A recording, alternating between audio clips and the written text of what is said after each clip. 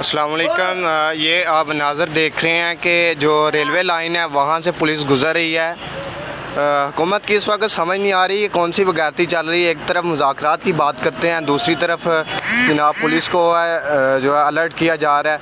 एक बात हम आपको बावर करवाना चाहते हैं कि ये तहरीक लब्बैक के साथ जो इस वक्त ये निज़ाम करना चाह रहे हैं, अगर तहरीक लब्बैक के साथ इस दफ़ा इन्होंने कुछ किया तो फिर ये इनकी आहरी हुकूमत होगी। ये अपनी, आपको पता नहीं क्या समझ बैठे हैं, ये निज़ाम जो ख़राब करना चाह रहे हैं। अभी यहाँ पे सराय आलमगीर में इन्होंने इंटरनेट सर्विस भी बंद की हुई है, कॉल सर्विस भी बंद की हुई है।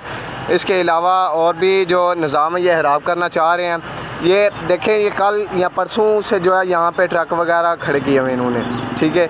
ये तहरीक बैग ने तो नहीं ना खड़े किए हुए? तहरीक बैग तो काफ़ी दिनों से सड़कों पर जहाँ से भी तहरीक बैग गुजरती हुई आ रही है, अभी तक वहाँ पर कोई इस तरह का निज़ाम नहीं हुआ कि वहाँ पर ट्रैफ़िक जाम की गई हो।